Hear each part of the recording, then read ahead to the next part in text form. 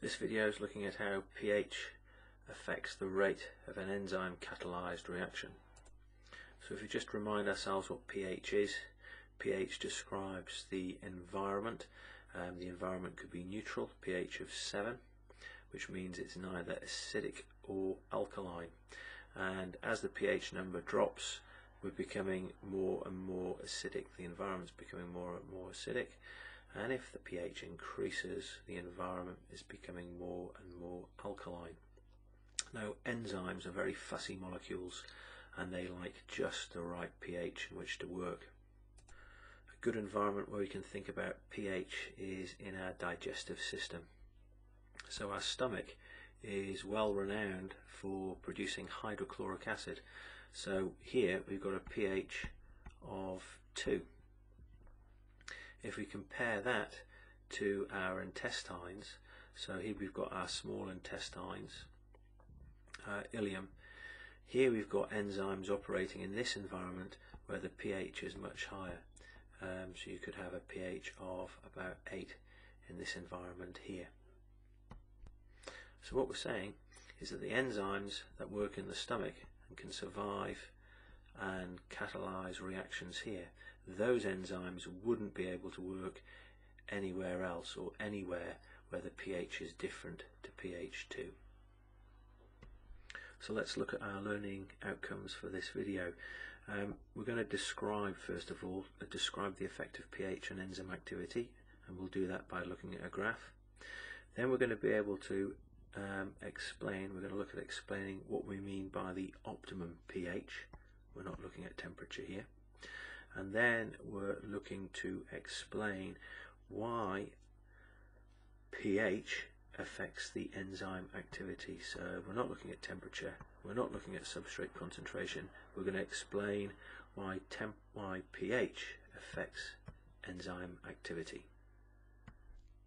So here's a typical graph looking at pH on the x-axis. So here we've got a pH which is um, low, so a pH of 2 here. Here, say we've got a pH of 4, and here we've got a pH of 6.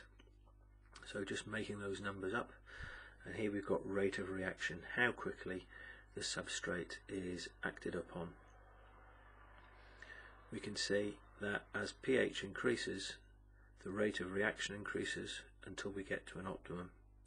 So this is the optimum pH for this particular enzyme. This is the pH that the enzyme will work at its fastest. When the pH increases, we can see that the rate of reaction slows down until we come to this point here where there's no reaction at all and this point here where there's no reaction at all. So what I've done here is I've described what's happening. So what I need to do now is I need to explain um, what's happening here. And I can explain the rate of reaction based on the shape of the active site of the enzyme. So if we look at these two points here, there's no rate of reaction. In other words, the active site um, does not fit the substrate, or the, rather the other way around. The substrate doesn't fit in the active site. So here we'd say the enzyme is denatured. So at these pHs here, the enzyme is denatured. It doesn't work, and it doesn't work because the substrate will not fit in the active site. And that obviously means that enzymes that are lower than that pH and enzymes that are higher than that pH, they won't work either. So this is the sweet spot. This is the spot where the enzyme is actually active and reacts with the substrate. Now let's explain this optimum pH. So what we have here is we have the active site being the perfect shape. Now the substrate can fit inside that active site. As we move in this direction, as the pH increases, the active site shape is changing up to its optimum point.